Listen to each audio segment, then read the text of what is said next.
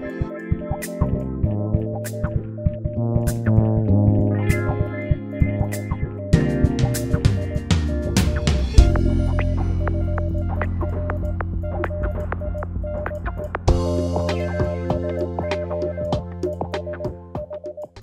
hello and welcome once again to this video channel. My name is Peter Waters, uh, amateur radio call sign Golf 3 Oscar Juliet Victor G3OJV.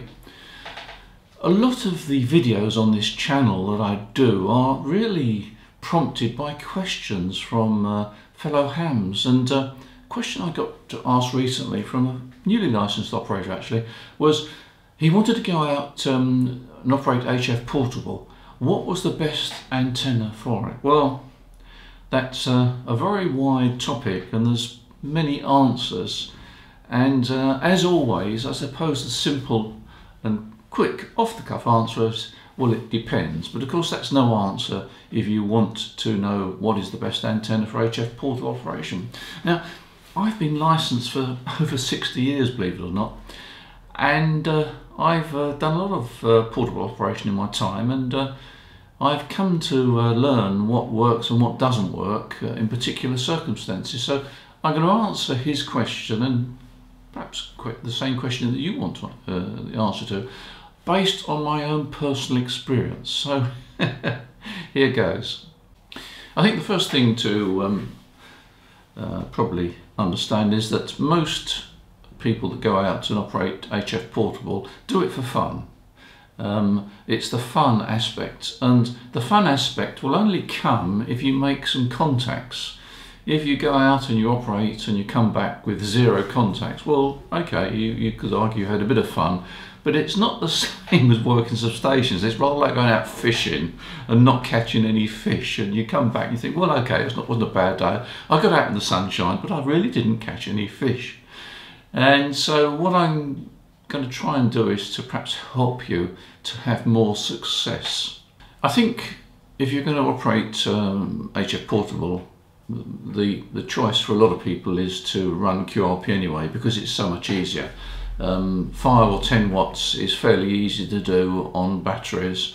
And if you're going to operate high power with bigger batteries then probably you're going to have more success anyway. So it really is key um, the antenna is key if you're going to operate um, at low power. And uh, from my experience um, the majority of people that go out and operate HF portable uh, operate low power.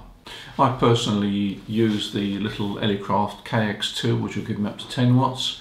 A lot of people will use the uh, FT817 or the FT818 which will give you up to 5 watts or 6 watts with the 818 and I guess quite a few people will be using the IC705 when it comes along. There are other QRP transceivers of course as well but we're talking about power levels of around about 10 watts maximum. I personally try to uh, travel light and uh, um, quite a few times I've used some commercial antennas. Uh, this is the uh, coil, loading coil from the Buddistick where you've got a short in point goes up and down there and you, you, you plug um, little sockets in there and you can just change band by uh, changing the tap.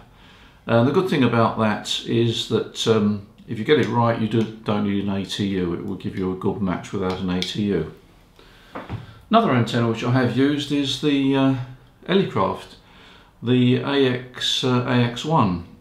In actual fact this, this, this is very small, take the whip off um, screw it, it comes off.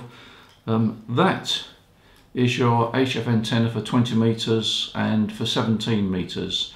Um, you can also get a loading coil for 40 meters, but that's how compact is that?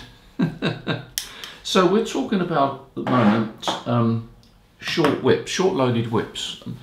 And with a short loaded whip, as I say, you don't need an antenna tuner. I, I try to avoid antenna tuners these days because it's uh, it's easier um, and it's more immediate and uh, my experience is if you need an ATU to resonate the antenna when you're out operating portable very often you don't get particularly good results you know the antenna's not you end up with a sort of a random length of wire and this sort of thing um, and I've I've, I've tried to avoid that. I want, I want a, a simple compact system that works without an antenna tuner.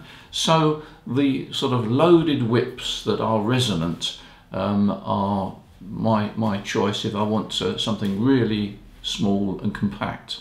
With any uh, um, whip antenna, you do need a, uh, an earth or ground plane and the easiest way to achieve that is simply to uh, uh, run out a length of wire along the ground um, which is connect, connected to the earth side um, and that acts as a ground plane. And that's, that's, that's, that is absolutely essential. And don't ever try to operate with a whip without having a ground connection or preferably with a wire, a sort of counterpoise connection. Um, it just won't work. So short loaded whips are one answer and they work, uh, they work reasonably well. I've always found that um, an alternative, if you've got a car and the car is nearby, is to actually mount the whip on the roof of the vehicle. Um, I tend to use a magnetic mount. Um, and that always seems to work extremely well compared with a whip um, and a ground plane. I think the reason is there's a big chunk of metal underneath the car anyway. And of course it has the added advantage that if it starts raining you can always pop into the car with the rig and operate it inside. So a, a whip mounted on a car is not a bad option. It certainly works, uh, for me it works, it works very well. And uh, I've often used that, particularly in the winter as well when it's cold. now one compact antenna that does work extremely well is the Alex Loop and I'll put a picture of that up on the screen now. The Alex Loop uh, I've used um, quite often uh, in, in, the past. The advantage of, is, of it is that it's very compact when it's uh, all folded up in its uh, little carry bag. Uh, it covers 40 through to 10 meters. It covers all the bands including the WARC bands and it doesn't need an antenna tuner. The antenna when it's resonant um, provides a very, very low SWR. And it's actually very easy to adjust because what you do is you adjust the tuning control at the base of the antenna and you'll hear immediately the signal suddenly pop up. It's quite sharp. The position of tuning is quite sharp. And once you've heard those signals pop up, if you just then look at the SWR meter, you can then finally tr trim it down to almost zero SWR. So I'll probably flip over to FM or AM so I've got a steady carrier and just just uh, uh, adjust it so that you've got minimum SWR. That antenna does work very very well. I've even used it indoors and uh, I'm, I'm, quite impressed with it. It'll, it'll land up to about 20 watts anyway. So it's a good antenna.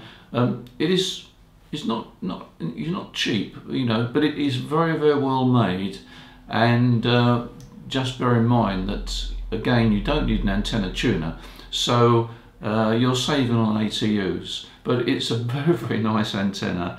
Um, and also it's, it's, quite low noise as well because it's a, magnetic loop it's, it's, quite low noise. So um, I've had a lot of, lot of fun with that. And uh, if you're if you're serious about uh, QRP operation take a look on our website the the Alex loop. It may well be uh, the answer you're looking for. Now I have seen videos and examples of uh, operators uh, putting up a, sort of a full size antenna like a full size quarter wave vertical on 20 meters or a you know I don't know a, a, a um, loaded 40 meter antenna which stands about sort of 16 or 20 foot high um, and then having to run out the radials and so forth it's not a favourite antenna of mine and I'll tell you for why first of all you've got to take a lot of extra paraphernalia with you. Um, you need to put some decent radials out. Uh, you've got to support it, you've got to stop it falling over in the wind, etc. etc. And it has quite a low angle of radiation. Now I know that a small whip has a low angle of radiation as well in theory, but if you want to improve your performance and you do it by putting up uh, a sort of a, either a full size or near full size vertical, you're actually not going to get the results that you expect. So why is this? Well, first of all, a vertical has low angle radiation. That means to say that the the uh, takeoff angle from the RF is is quite low, which favours DX. The problem is that currently and very often when you're out, there is no DX to be worked. I mean, we are at the sunspot minimum at the moment. Uh, very often the bands are, are pretty poor. Uh, there's certainly no um, uh, chance really of working a real DX, and yet all your energy is going off at that low angle which favours DX. Um, currently, and probably for the next couple of years, you're not going to work much DX uh, on uh, your, your QRP portable um, system. So what you want is an antenna that gives you some higher angle radiation. Now bear in, bear in mind that at the beginning of this video I said uh, QRP operation is all about fun and you want to come back with some contacts in your log. You don't want to sort of put your fishing line out and not catch anything.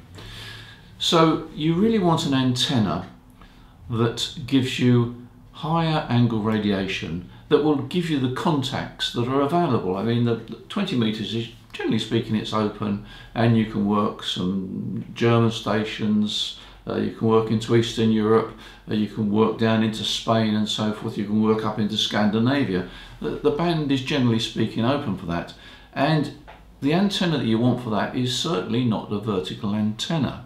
And this applies probably even more so to 40 meters where I've seen, you know, ham operators trying to get contacts on a vertical, on a tall vertical of 40 meters without too much success. And the reason is that the, they're, they're losing a lot of the signal that they could otherwise uh, achieve because it's going at too low angle radiation. You want, it, you want something fairly steep uh, for 40 meters and really 20 meters as the bands stand at the moment.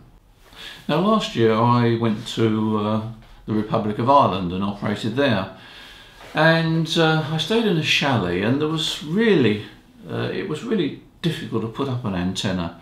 I did, I did take a short whip with me but I also took a half wave length of wire uh, for 40 meters. So in other words it was 20 meters long. And uh, one end was attached to the gutter end of the chalet and the other end was attached to a bush down the garden. I think the average height was about 10 or 12 feet, so it was, it was pretty low. Um, I also uh, took the precaution of cutting it in the middle and then putting a little joiner so I could actually um, disconnect it and use half the length. So half the length, which would be 10 metres, would give me a half wave on 20 metres. And the reason I did that was because I didn't know how long the garden was going to be and if all else failed I'd have an antenna that operated on 20 metres. Well in fact there was enough room to put out 20 metres of wire so I was able to operate on 40 metres. Now that means to say that my half wave antenna would resonate on 40 metres and 20 metres and 15 metres and 10 metres which is quite nice.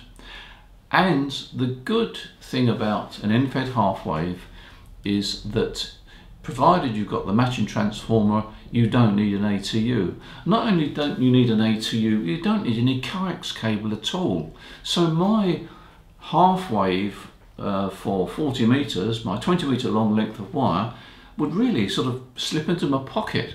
Um, and you can't get an antenna which is more compact than that. Now I know there's a lot of, lot, lot of uh, things being published about uh, end-fed wires and people disregard them. Do you know, I can't think of anybody that has put up a, a, a an end-fed half wave with a proper transformer and come back to me and said it's a load of rubbish. Those that say it's a load of rubbish are generally speaking those that haven't used one or they've just attached a random length of wire. When you attach a random length of wire, yes, it will be rubbish. It's ab absolutely essential that wire is resonant. Get yourself 20 meters of wire, attach it to a 49 to 1 matching transformer. And in fact, I, I did a video about making your own matching transformer and I'll try and remember to put a link um, at the bottom of this video so you can have a look at that one as well. If you use that matching transformer and that length of wire, it will resonate on 40 meters, 20, 15 and 10. You don't need an antenna tuner. The good thing about that arrangement um, is apart from the fact you don't need any coax cable, it's very easy to run out, you can throw it over a bush and so forth, but it gives you high angle radiation. And that is the uh, that is the thing that's going to give you contacts when you're running QRP as we are at the moment. Okay, perhaps in four or five years' time, little bands will be different and you, your verticals will start to work in, in, a better fashion. At the moment, they won't. Um, if you're going to go QRP, seriously consider using an end-fed half-wave resonant wire with the correct matching transformer. If you don't want to make your own antenna, then there are commercial ones available. We've got a range um, of uh, uh, end-fed half waves on our website now, um, made by Vibroplex in the USA, and uh, there's a full-size one. Well, I say full-size, that is um, 40 meters long, which gives you 80, 20, uh, 15, and 10 plus the WARC bands. Um, or there's the shorter version available, which is the one I was talking about just now, and that gives you four bands. It gives you, uh, it's, it's um, 20 meters long, it gives you 40, 20, 15, and 10 meters. And uh, the, the, either of those um, will, will, will do the job. Um, if you want to operate um, just on 20 meters, then of course you can just use uh, 10 meters of wire. In fact, the, the, the, the 10 meters of wire will, will also resonate on 10 meters, but um, I shouldn't get too excited about that. And some about you won't get any contacts on, on 10 meters. So that really is my take on um, uh, QRP, HF operation, and what antenna you should use. The uh, end-fed half-wave resonant wire is extremely compact you don't need an ATU, you don't need coax cable. Um, it's got good resonance, good low SWR.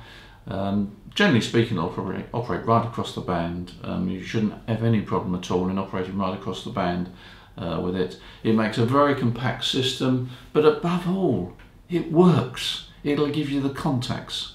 So give it a try. You won't be disappointed. So there we are. Thanks very much for watching this video. I hope it's been informative. I say, as I said at the beginning, it's based on my personal experience. Believe me, I've put up a lot of antennas. I've had a lot of disappointments, but there are some which have given me great success. The end-fed half wave is one of them. There we are. Okay, well, until next time, take care, keep safe, enjoy your ham radio. See you soon.